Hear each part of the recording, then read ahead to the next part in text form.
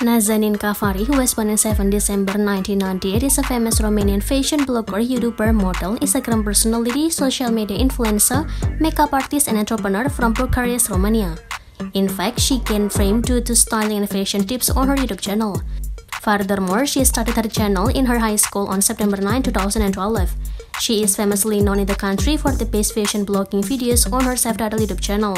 Not only that, but she is also a professional makeup artist and also shares her best makeup tips with her fans through her YouTube videos. Kavari created her first YouTube channel in 2012, but her first video about her hair care routine for thick and curly hair was posted in 2013. Her first video got a lot of positive reactions, which encouraged her to continue creating more content. In the same year, she started a second YouTube channel. This time, she partnered with her sister Yasmin to create Kavari Vlogs, a YouTube channel that shows them doing things together.